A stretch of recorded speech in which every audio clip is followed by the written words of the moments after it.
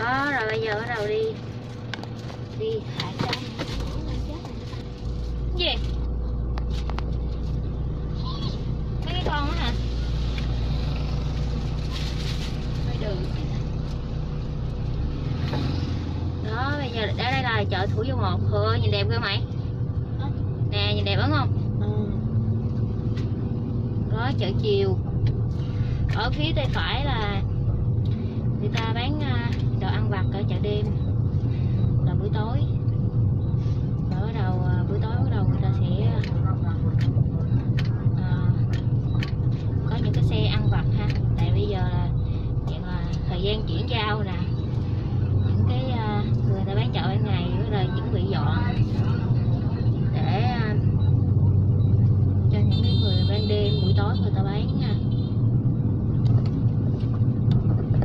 bến đò. Hả? Gì đi hả trái đậu có dung chỉ nè. Chị nào tới chỗ nói tao mày qua hai cái cầu à cầu này cái cái nữa à buổi chiều nhìn đã mát mà lần là đi xuồng con lột rồi đi ghe đi đúng không con đi ghe luôn hả bữa cho nói với ờ, gì ta ba đứa luôn rồi ba hai hồi bữa con đi với anh hai hay có bi không con không không có bi không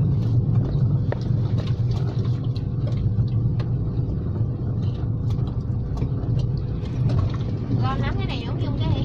Nắm cái này nè, nắm nắm đi. Ờ, ừ dịnh cứng nha dịnh cứng À. kéo đi, kéo xuống. Dịnh nhìn xuống á.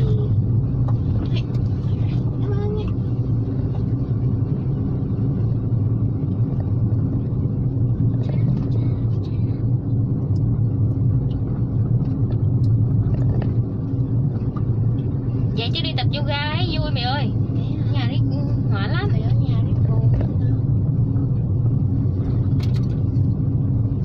tự nhiên hồi bữa mày tao đi tập yoga xong rồi cái à, tao đậu xe á. Xong tự nhiên ý là tao tập xong rồi tao ra ngoài công viên ngồi cho nó mát mát miếng mới về ra phải ngồi bắt điện thoại miếng cái công viên đằng trước á. Cái đằng trước là cái gì lộn cái bên hông á. Ừ.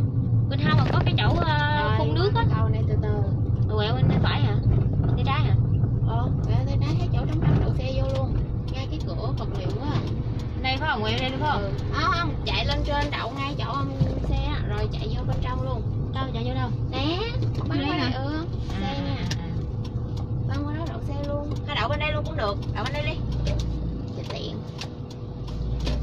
Rồi cho mát mát đó kìa có cái phà kìa. Cái gì kìa? Đâu? Đó. đó hả? Ờ. Rồi ok rồi bây giờ tới cái chỗ à, đi thả cá đi bộ vô sao mày?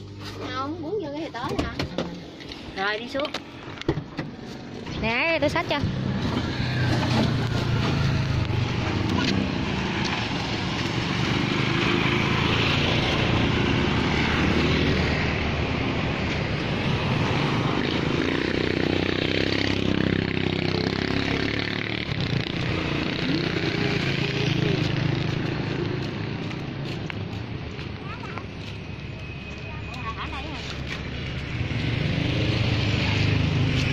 ngay chùa kìa thấy không? Không đây nè. Ngay bờ đây nè. Ờ. Nay nó đắp bờ lên chứ hồi bữa lục bình dữ lắm. Hả ờ. Nay cao quá nó đắp bờ cao quá. Có dân té à. Cao quá sao hãy xuống ta?